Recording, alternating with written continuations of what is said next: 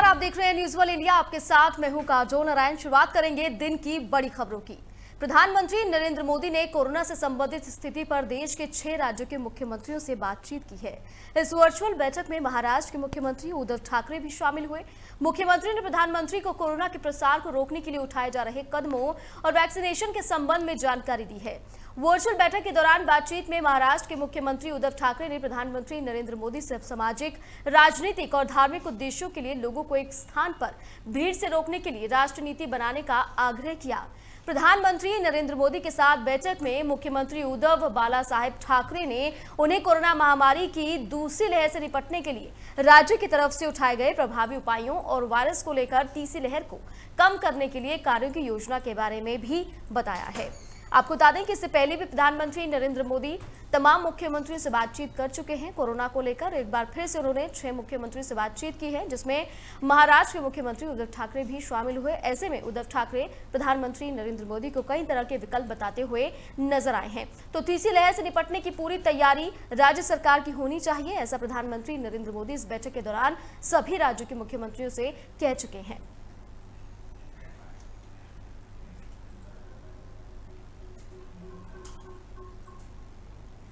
हरियाणा के मुख्यमंत्री ने कोरोना संक्रमण के कारण अनाथ होने वाले बच्चों को आर्थिक मदद की घोषणा की है। घोषणा के मुताबिक अनाथ हुए बच्चों को प्रति माह पच्चीस सौ रुपए आर्थिक मदद देने की घोषणा की गई। साथ ही बाकी खर्च के लिए हर साल बारह हज़ार रुपए भी दिए जाएँगे। जानकारी के मुताबिक हरियाणा मुख्यमंत्री मनोहर लाल खट्टर ने कहा है की कोविड संक्रमण के कारण जो बच्चे अनाथ हो गए, उन बच्चों के लिए मुख्यमंत्री बाल सेवा योजना भी शुरू कर रही है। बच्चे जिन परिवारों में रहेंगे, उन्हें 18 साल तक दो हज़ार हर महीने दिए जाएँगे और पढ़ाई समेत तमाम खर्चों के लिए बारह हज़ार रुपए हर साल दिए जाएँगे।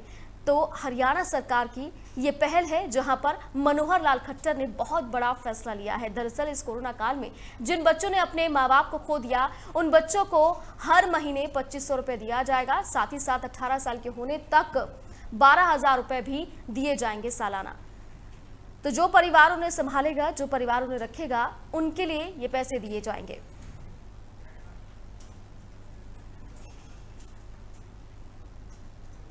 दिल्ली और हरियाणा के बीच जारी जल विवाद को लेकर सियासी बयानबाजी का सिलसिला तेज हो गया है। इसी कड़ी में हरियाणा के मुख्यमंत्री मनोहर लाल खट्टर ने इस मामले पर तीखी प्रतिक्रिया देते हुए दिल्ली के मुख्यमंत्री अरविंद केजरीवाल पर जमकर निशाना साधा है। दिल्ली सरकार की तरफ़ से हरियाणा पर दिल्ली के हिस्से का पानी नहीं देने के आरोप पर मुख्यमंत्री मनोहर लाल खट्टर ने बड़ा आरोप लगाते हुए कहा कि मुख्यमंत्री अरविंद केजरीवाल को विज्ञापन का शौक है। हरियाणा के मुख्यमंत्री मनोहर लाल खट्टर ने कहा है कि सुप्रीम कोर्ट के आदेशानुसार जितना पानी राष्ट्रीय राजधानी दिल्ली को देना है। उतना पानी हम लगातार दे रहे हैं। एक बूंद भी कम नहीं दे रहे। आपको याद होगा कि बीते कई दिनों से पानी को लेकर हरियाणा और दिल्ली सरकार के बीच तलखी साफ़ तौर पर देखी जा रही है। जो एक तरफ़ अरविंद केजरीवाल लगातार आरोप लगा रहे हैं कि हरियाणा सरकार दिल्ली के हिस्से का पानी नहीं दे रहा है। वहीं इस पर मनोहर लाल खट्टर ये कहते हुए नज़र आए हैं कि मुख्यमंत्री अरविंद केजरीवाल को सिर्फ़ और सिर्फ़ विज्ञापनों में आने का शौक है। इसी वजह से लगातार वो बिना मतलब की बयानबाजी कर रहे हैं। तो पानी विवाद पर मुख्यमंत्री मनोहर लाल खट्टर का बड़ा बयान सामने आया है। आपको बता दें कि पानी की किल्लत को लेकर लगातार दिल्ली सरकार, हरियाणा सरकार को कोसती हुई नज़र आ रही थी और बयानबाजी का दौर भी लगातार जारी था। ऐसे में अब मनोहर लाल खट्टर सामने आए हैं। उन्होंने अरविंद केजरीवाल को कहा है कि वो विज्ञापन का शौक रखते हैं। इसी वजह से वो कुछ भी बयान दे देते हैं।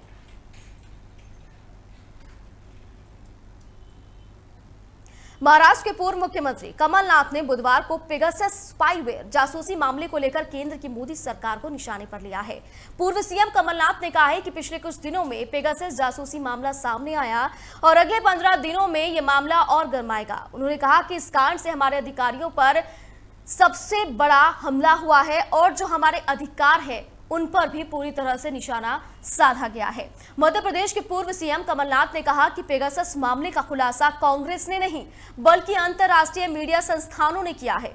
कमलनाथ ने केंद्र सरकार पर निशाना साधते हुए कहा कि प्रधानमंत्री नरेंद्र मोदी जुलाई 2017 में इसराइल के दौरे पर गए थे। ये जासूसी भी 2017 और 2018 में शुरू हुई। उन्होंने कहा कि मोदी सरकार के कार्यकाल में मोबाइल फ़ोन कंपनियों के ज़रिए लाखों लोगों की निगरानी की गई है।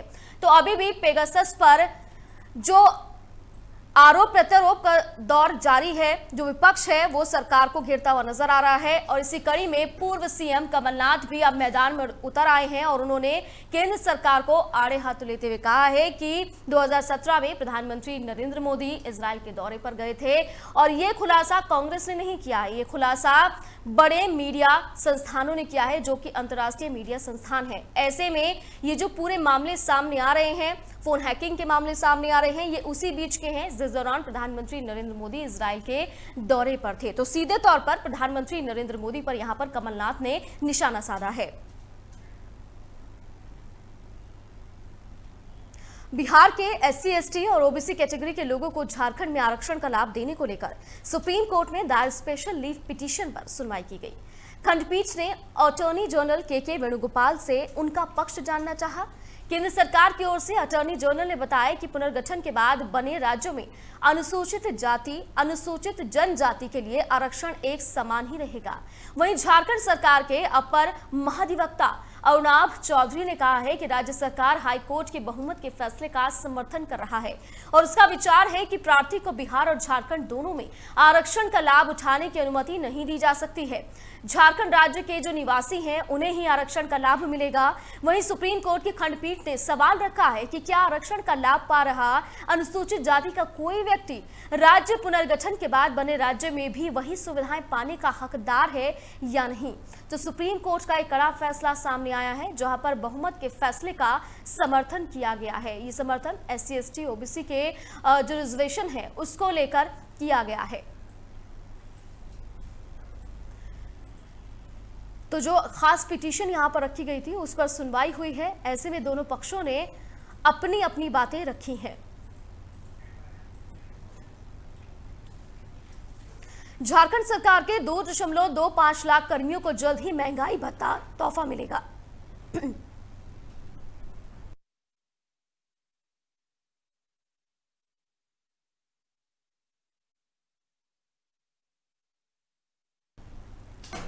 वहीं मुख्यमंत्री हेमंत सोरेन ने अधिकारियों को इस मुद्दे पर प्रस्ताव बनाने का निर्देश दिया है। मुख्यमंत्री सचिवालय के सूत्रों ने बताया है कि कोरोना के कारण जनवरी 2020 में महँगाई भत्ते में बढ़ोतरी नहीं की गई थी। केंद्र सरकार ने भी कुछ दिन पहले महँगाई भत्ते पर लगी रोक को हटाकर सत्रह फ़ीसदी से बढ़ाकर अट्ठाईस फ़ीसदी करने का फैसला किया। इसके बाद राज्य के कर्मचारी भी महँगाई भत्ता देने की मांग करने लगे। हालाँकि राज्य की वित्तीय स्थिति देखते हुए इस फैसला ले इस पर फैसला लेना काफ़ी ज़्यादा मुश्किल हो रहा है, लेकिन इस पर निर्देश लगातार जारी किए जा रहे हैं। बता दें कि सरकारी कर्मियों की हर साल जनवरी और जुलाई में महँगाई भत्ते में बढ़ोतरी होती है। तो सीएम सोरेन के निर्देश सामने आए हैं, जहाँ पर दो दशमलव दो लाख कर्मियों को जल्द महँगाई भत्ता देने की पूरी तैयारी हो रही है। दरअसल, इस कोरोना पीरियड में हेमंत सोरेन का कहना है कि आर्थिक स्थिति चरमरा गई है। ऐसे में समय लग रहा है, लेकिन हमने अधिकारियों को निर्देश दे दिया है, जल्द ही दो लाख से ज़्यादा कर्मियों को महँगाई भत्ता दिया जाएगा।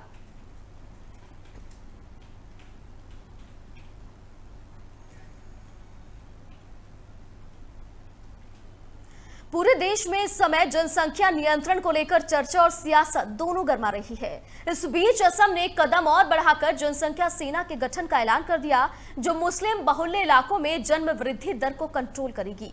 हेमंत बिस्वास शर्मा जब से असम के मुख्यमंत्री बने हैं, वो लगातार जनसंख्या नियंत्रण को लेकर बयान और काम दोनों करते दिख रहे हैं। ताज़ा ऐलान जनसंख्या सेना को लेकर किया है। हेमंत बिस्वा शर्मा ने कहा है कि राज्य सरकार जनसंख्या सेना तैयार करेगी। सेना मुस्लिम बाहुल्य इलाकों और ज़्यादा जनसंख्या वृद्धि वाले इलाकों में तैनात होगी। जनसंख्या सेना जागरूकता फैलाने और लोगों के बीच गर्भ निरोधक बांटेगी। इसके लिए सरकार चार चपोरी क्षेत्र के एक हज़ार युवाओं को शामिल करना चाहती है। इसके अलावा दस हज़ार आशा कार्यकर्ताओं की अलग फोर्स भी तैयार होगी, जो घर घर जाकर बर्थ कंट्रोल पर लोगों को जागरूक भी करेगी। दरअसल कांग्रेस विधायक शर्मन अली अहमद के एक सवाल के जवाब में हेमंत बिस्वा शर्मा ने ये जानकारी दी है। तो जनसंख्या कंट्रोल को लेकर ये पूरी बातें निकलकर सामने आई हैं, जहाँ पर असम सरकार ने जनसंख्या सेना का गठन करने की बात कही है, जो कि मुस्लिम बाहुल्य इलाकों में जाएगी, जहाँ पर जनसंख्या ज़्यादा है, उन इलाकों का दौरा करेंगी, वहाँ पर गर्भ निरोधक गोलियाँ बांटी जाएँगी, साथ ही साथ आशा कार्यकर्ता भी वहाँ पर मौजूद रहेंगी, जो कि गाँव गाँव जाकर लोगों को जनसंख्या नियंत्रण को लेकर जागरूक करेंगी। आरएसएस के प्रमुख मोहन भागवत ने हिंदू मुस्लिम पर एक बार फिर से बयान दे दिया है। मोहन भागवत कहते हैं कि हिंदुस्तान में 1930 से योजनाबद्ध तरीके से मुस्लिमों की संख्या बढ़ाने की कोशिश की जा रही है। इसके पीछे ऐसा विचार था कि जनसंख्या बढ़ाकर देश को पाकिस्तान बनाएँगे। उन्होंने कहा कि भारत में बंगाल, असम और सिंध को पाकिस्तान बनाने की योजना थी, लेकिन ये योजना पूरी तरह कामयाब नहीं हुई है और देश का विभाजन होकर पाकिस्तान बन गया है। सीए और एनआरसी को लेकर मोहन भागवत ने कहा है कि इसका हिंदू मुसलमान विभाजन से कोई लेना देना ही नहीं है। साथ ही उन्होंने दावा किया है कि कुछ लोग अपने राजनीतिक हित साधने के लिए इसे सांप्रदायिक रंग दे रहे हैं। असम के दो दिवसीय दौरे पर आए भागवत ने ज़ोर देते हुए यह भी कहा है कि नागरिकता कानून से किसी मुसलमान को कोई नुकसान नहीं होगा। देखिए, एक तरफ़ तो वो ये कह रहे हैं कि किसी मुसलमान को नुकसान नहीं होगा नागरिकता कानून से। लेकिन वो ये भी बात रख रहे हैं कि 1930 के बाद से ही जानबूझकर मुसलमानों की जनसंख्या बढ़ाने की कोशिश हो रही है। आपको याद होगा कि गाजियाबाद में कुछ दिनों पहले ही मोहन भागवत ने डीएनए को लेकर एक बहुत बड़ा बयान दिया था, जिसको लेकर राजनीति काफ़ी ज़्यादा हो गई थी। जी हाँ उन्होंने कहा था कि हिंदू हो या मुसलमान, सिख हो या ईसाई, हर किसी का डीएनए एक है। ऐसे में राजनीति होना लाजमी था, लेकिन एक बार फिर से सियासी घमासान जो है, वो इस बयान को लेकर छिड़ता हुआ नज़र आ रहा है। तमाम तरीके की प्रतिक्रियाएँ भी लगातार देखने को मिल रही हैं।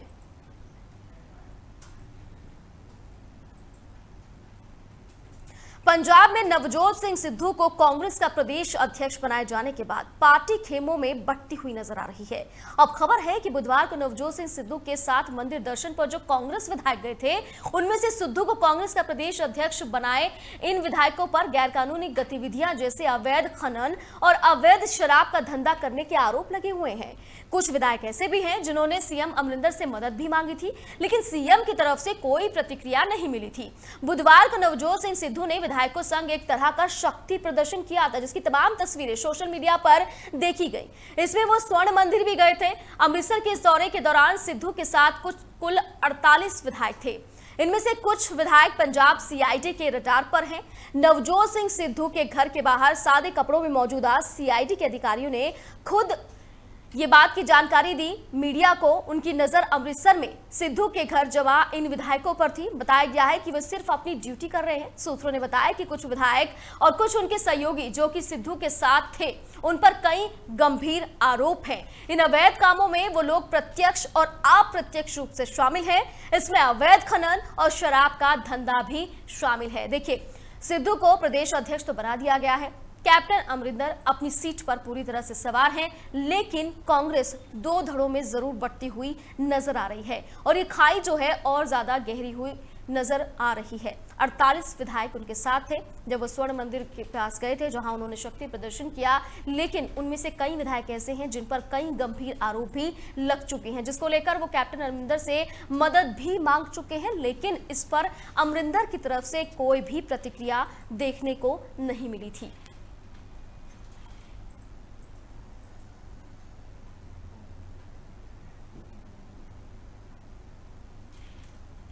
Rajasthan board of school education ने बारहवीं के परिणाम जारी किए जाने की तारीख और समय की घोषणा कर दी है।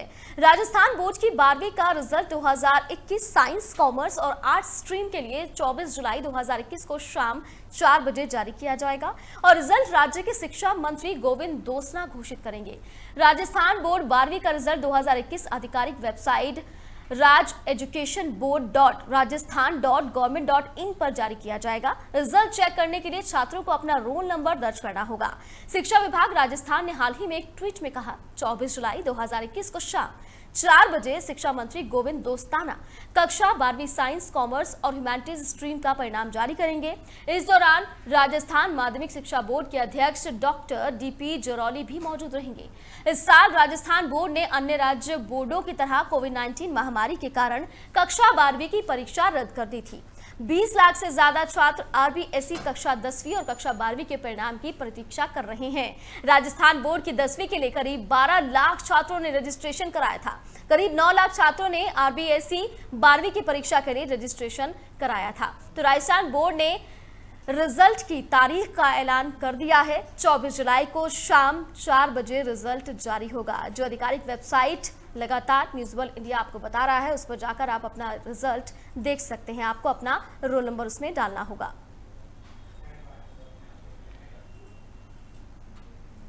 भारतीय रिज़र्व बैंक के ऑर्डर के बाद एक अगस्त से बैंक एटीएम पर इंटरचेंज चार्ज में दो रुपए की बढ़ोतरी होगी। जून में आरबीआई ने इंटरचेंज चार्ज पर फाइनेंशियली ट्रांजैक्शन पंद्रह रुपए से बढ़ाकर सत्रह रुपए और नॉन फाइनेंशियल ट्रांजैक्शन के लिए पाँच से बढ़ाकर छह रुपए करने की अनुमति दी थी। इंटरचेंज फ़ीस बैंकों द्वारा क्रेडिट कार्ड या डेबिट कार्ड से पेमेंट प्रोसेस करने वाले मोचन से लिया जाने वाला शुल्क है। संशोधित नियमों के अनुसार ग्राहक अपने बैंक के एटीएम से हर महीने पाँच फ्री ट्रांजैक्शन कर सकेंगे। ग्राहक दूसरे बैंक के एटीएम का उपयोग करके मेट्रो सिटी में तीन और नॉन मेट्रो सिटी में पाँच फ्री एटीएम ट्रांजैक्शन कर सकेंगे। जून 2009 में। माफ़ कीजिएगा, जून 2019 में आरबीआई द्वारा गठित एक समिति के सुझावों के आधार पर ये बदलाव किए गए थे।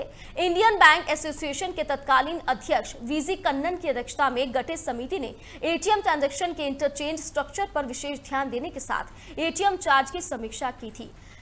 तो एटीएम से कैश निकालने के लिए अब आपका चार्ज बढ़ सकता है। जी हाँ अगर आप एक बैंक से दूसरे बैंक के एटीएम से पैसा निकालना चाह रहे हैं तो अगर आप मेट्रो सिटी में रहते हैं तो तीन बार तो आपका कोई चार्ज नहीं लगेगा, लेकिन अगर तीन बार से ज़्यादा निकालते हैं एक महीने में तो आपको चार्ज देना होगा। अगर आप नॉन मेट्रो सिटी में रहते हैं तो आपके लिए पाँच बार की सुविधा है। पाँच बार आप बिना किसी चार्ज के ट्रांजेक्शन कर सकते हैं, लेकिन पाँच बार के बाद नॉन मेट्रो सिटी में भी आपको चार्ज देना ही होगा। एक अगस्त से ये जो पूरी प्रक्रिया है, वो लागू होने जा रही है।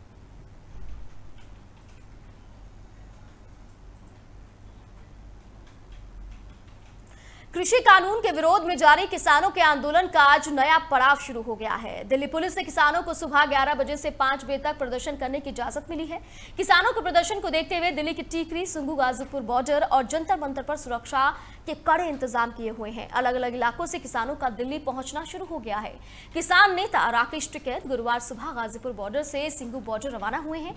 राकेश टिकैत के मुताबिक बसों से पहले सिंघू बॉर्डर जाया जाएगा। राकेश टिकैत आगे कहते हैं कि बसों से सबसे पहले सिंघू बॉर्डर हम जाएँगे, उसके बाद जब तक संसद का सत्र चलेगा, हम लोग जंतर मंतर पर ही अपनी किसान संसद चलाएँगे। यानी कि किसानों की तरफ़ से शांतिपूर्ण तरीके से ये घेराव की बात की जा रही है, इस प्रदर्शन की बात की जा रही है, लेकिन ये कितना शांतिपूर्ण रहेगा, ये तो दिन चढ़ते चढ़ते पता ही चलेगा। लेकिन दिल्ली पुलिस पूरी तरह से तैयार है। ग्यारह से पाँच बजे तक का समय दिया गया है किसानों को, लेकिन अगर कोई भी अप्रिय घटना होती है तो फिर इसको लेकर दिल्ली पुलिस पूरी तरह से अलर्ट नज़र आ रही है। वहीं राकेश टिकैत का कहना है, जो कि किसानों के प्रमुख हैं, कि जब तक संसद सत्र चलेगा, तब तक हम जंतर मंतर पर ही अपनी संसद चलाएँगे। उसके बाद हम संसद का घेराव करेंगे।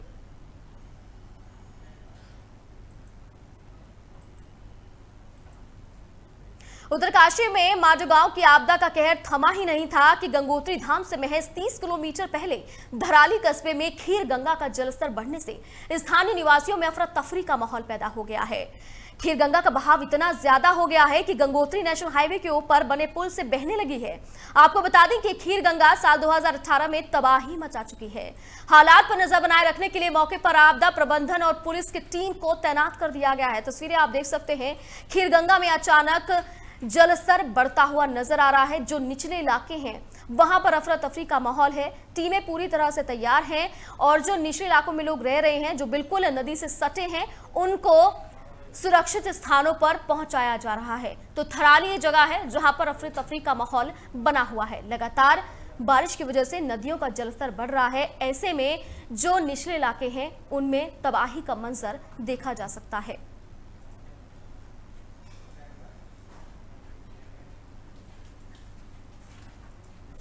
देश में एक बार फिर कोरोना के आंकड़ों में उछाल देखने को मिला है। पिछले 24 घंटों के दौरान देश में बयालीस हज़ार से ज़्यादा नए मामले सामने आए हैं, जिनमें सबसे ज़्यादा केरल में सोलह हज़ार से ज़्यादा मामले दर्ज किए गए हैं। महाराष्ट्र में 9000 तमिलनाडु में 1000 नए मामले दर्ज किए गए। वहीं पिछले 24 घंटों में 3000 से ज़्यादा लोगों की मौत की सूचना आई है। महाराष्ट्र में बासठ लाख से ज़्यादा मामलों की पुष्टि हो चुकी है। इनमें से 60 लाख से ज़्यादा ठीक हो चुके हैं। कोरोना के मामले में दूसरे नंबर पर केरल है, जहाँ अब तक इकतीस लाख से ज़्यादा मामले सामने आ चुके हैं। वहीं तीसरे नंबर पर कर्नाटक है, जहाँ अब तक 28 लाख से मामले ज़्यादा सामने आ चुके हैं। तमिलनाडु में 25 लाख से ज़्यादा, आंध्र प्रदेश में 19 लाख से ज़्यादा, उत्तर प्रदेश में 17 लाख से ज़्यादा, वहीं पश्चिम बंगाल में 15 लाख से ज़्यादा मामले हैं। दिल्ली में भी 14 लाख से ज़्यादा मामले सामने आ चुके हैं। तीसरी वेव को लेकर प्रधानमंत्री नरेंद्र मोदी तमाम मुख्यमंत्रियों से बातचीत कर रहे हैं। राज्य सरकारें अपनी जनता को लगातार अलर्ट कर रही हैं। जो जिलों के जिलाधिकारी हैं, वो लगातार पूरी तरह से पुलिस फोर्स को अलर्ट कर चुके हैं कि कोई भी लापरवाही नहीं होनी चाहिए, कोरोना प्रोटोकॉल्स का पूरा पालन होना चाहिए, लेकिन उसके बावजूद भी केरल में मामले बढ़ते हुए नज़र आ रहे हैं। उसके अलावा महाराष्ट्र में भी मामले बढ़ रहे हैं और तमिलनाडु में। ये तीन राज्य ऐसे हैं जहाँ से ज़्यादा से ज़्यादा मामले सामने आ रहे हैं। तो यहाँ पर ज़्यादा से ज़्यादा सुरक्षा व्यवस्था करनी होगी। जो लोग लापरवाह हैं, उन्हें भी समझाना होगा और जो गाइडलाइंस है, उनको ज़रूर फॉलो करवाना होगा।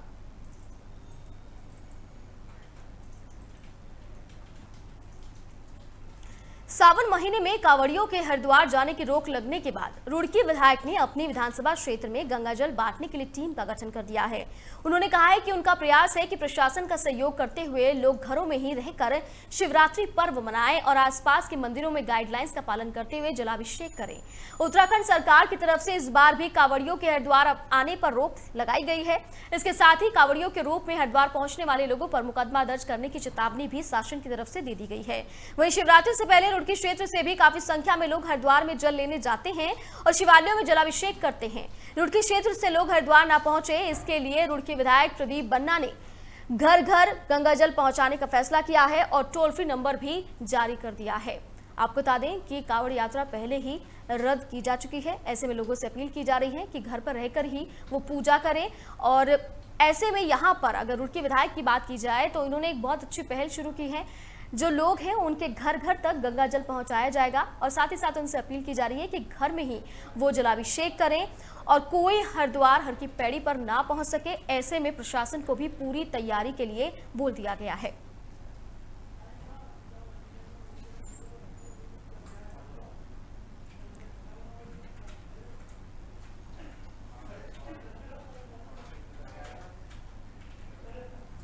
सावन का पवित्र महीना है और हिंदू का त्यौहार है और सभी में त्यौहार जो है हमारे संस्कार है, हमारी संस्कृति है। और देखिए, अब पहले लाखों करोड़ों की संख्या में कावड़ यहाँ पर आता था, गंगा जल लेने और सबकी आस्था जुड़ी थी और सभी लोग अपने अपने शिवालयों में, अपने अपने घर जाकर गंगा जल जो है शिवलिंग पर चढ़ाया करते थे। तो कोरोना महामारी की वजह से सारे त्यौहार जो है उनका ट्रेंड जो है वो चेंज हो रहा है। इको दिवाली मनाने की बात कही गई फ्रेंडली दिवाली मनाने की बात कही इको होली मनाने की बात कही गई, जिससे कि संक्रमण से हम लोग बच सकें और संक्रमण ना फैले। इसी के तहत ये निर्णय लिया गया सरकारों द्वारा कि कांवड़ यात्रा स्थगित करी गई। पर अपनी आस्था तो स्थगित नहीं होगी, अपना संस्कार तो नहीं हम छोड़ सकते। तो इसी के तहत हमने प्रोग्राम बनाया कि गंगा जली हम लोग घर घर तक पहुँचाएँगे और ना सिर्फ़ रुड़की में। मैं सोचता हूँ कि हम उसका टोल फ्री नंबर देंगे। कोई अगर बाहर भी गंगा जली मंगाना चाहता है तो कुरियर से उसको गंगा जली भेजेंगे और अपना त्यौहार लोग बनाए और माँ पवित्र गंगा के दर्शन करें और शिवालयों पर गंगा जल अर्पण करें। पेगासस जासूसी कांड पर घिरी बीजेपी ने कांग्रेस की न्यायिक जाँच की मांग पर आरोपों की झड़ी लगा दी है। बीजेपी के प्रदेश अध्यक्ष संजय जायसवाल ने कहा है कि कांग्रेस अपने ही नेताओं की जासूसी करवाती रही है। संजय जायसवाल के आरोप है कि मनमोहन सिंह की सरकार में पी चिदम्बरम से लेकर प्रणब मुखर्जी तक के फ़ोन की टैपिंग हुई थी। बीजेपी के सांसद संजय जायसवाल ने कांग्रेस की पूरी राजनीति को ही साजिश रचने, जासूसी करने और सरकार गिराने की इर्द गिर्द बताया है। संजय जायसवाल ने मनमोहन सिंह सरकार पर अपने ही नेताओं की फ़ोन टैपिंग कराने के आरोप लगा दिए हैं। बीजेपी नेता ने कहा है कि कांग्रेस ने प्रणब मुखर्जी और पी चिदम्बरम तक की जासूसी करवाई है। आपको बता दें कि पेगासिस मामला थमने का नाम नहीं ले रहा है और इसको लेकर बीते कई दिनों से आरोप प्रत्यारोप का दौर लगातार जारी है। कांग्रेस सरकार पर आरोप लग, रही है तो ऐसे में सरकार अपना बचाव करती हुई नज़र आ रही है। तो वहीं बीजेपी नेता का बयान सामने आया है, जहाँ उन्होंने कहा है कि मनमोहन सरकार में कांग्रेस ने अपने ही नेताओं की फ़ोन टैपिंग करवाई थी, चाहे वो प्रणब मुखर्जी हो, चाहे वो पी चिदम्बरम हो, इनके नाम लगातार सामने आए थे।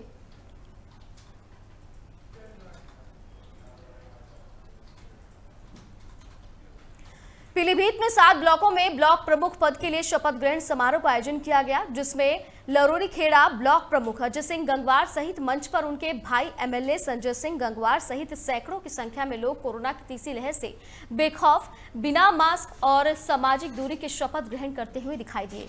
यही नज़ारा अमरिया ब्लॉक प्रमुख श्याम सिंह के शपथ ग्रहण समारोह में देखने को मिला, जहाँ बिना मास्क और कोविड नियमों का उल्लंघन करते हुए बीजेपी नेता नज़र आए। कोरोना की तीसरी लहर का डर ना तो इन माननीयों को है और ना ही नवनिर्वाचित चुने हुए क्षेत्र पंचायत अध्यक्षों और उनके सदस्य को है। तो तस्वीरें आप देख सकते हैं। शपथ ग्रहण समारोह का आयोजन हुआ, लेकिन यहाँ पर कोविड नियमों की जमकर धज्जियाँ उड़ाई गई हैं